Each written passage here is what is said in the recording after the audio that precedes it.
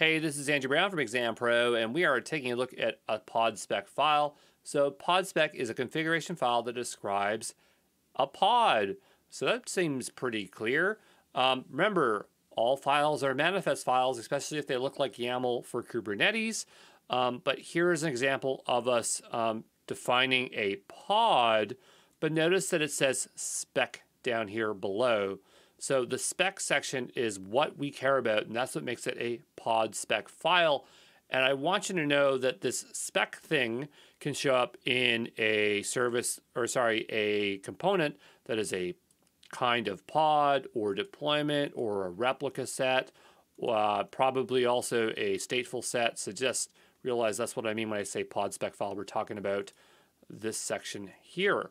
So uh, the idea is you can define multiple containers and you'll have the name of the container, the image here, which is Nginx.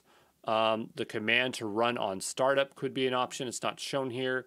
Uh, the port the container will operate on, the restart policy, which again, we don't have it displayed here, uh, and a variety of other things. So you can directly deploy a pod with kubectl apply command, as we see here. So it's showing a pod, but in practice, you won't directly deploy pods. Instead, you'll use deployments or job as the kind. So in some um, uh, follow alongs, you will see people deploy pods just because they just don't want to deal with deployment because they want to be able to delete the pod and the pod not to spin back up again. Um, but yeah, you rarely ever would, never would ever make sense to deploy a pod without a deployment. Okay.